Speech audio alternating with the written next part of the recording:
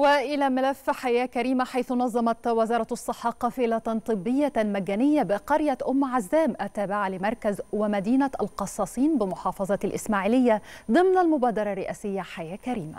ضمت القافلة كل التخصصات الطبية وخدمات تنظيم الأسرة وخدمات الأشعة والتحاليل الطبية بالإضافة إلى الصيدلية كما تم تحويل الحالات التي تحتاج إلى إجراء عملية جراحية إلى المستشفيات التابعة للتأمين الصحي الشامل مجانا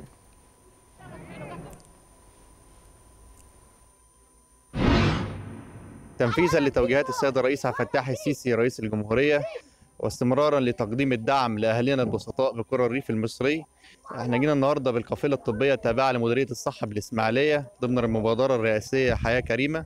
القافلة الطبية التي تضم كل التخصصات بها أكثر من 80 صنف يتم توزيعهم بالمجان على المواطنين والحالات التي تحتاج إلى تدخل جراحي يتم توزيعها على المستشفيات الكبرى بالإسماعيلية مثل المجمع الطبي ومستشفى أبو خليفة والمستشفيات الجامعية تنسيقا مع مؤسسة حياة كريمة.